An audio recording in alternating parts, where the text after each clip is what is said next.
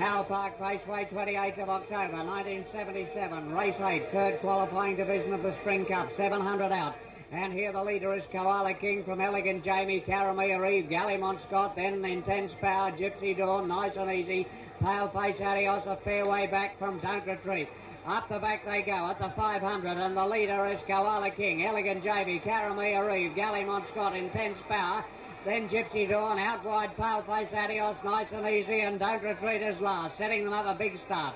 They come to the turn. It's Koala King, Elegant Jamie, Caramia Eve, Gallimont Scott, Intense Power, uh, Nice and Easy, Paleface Adios, Gypsy Dawn, and back behind them, Don't Retreat. Into the straight now, it's Koala King holding the lead and travelling well in front of Elegant Jamie Caramee or even Gally Scott. However, out of the finish and Koala King wins. Koala King close to the places between Caramia Eve and Elegant Jamie, then Gallimont Scott, Intense Power, Paleface Adios. Last Don't Retreat, Willie Rip pulled up.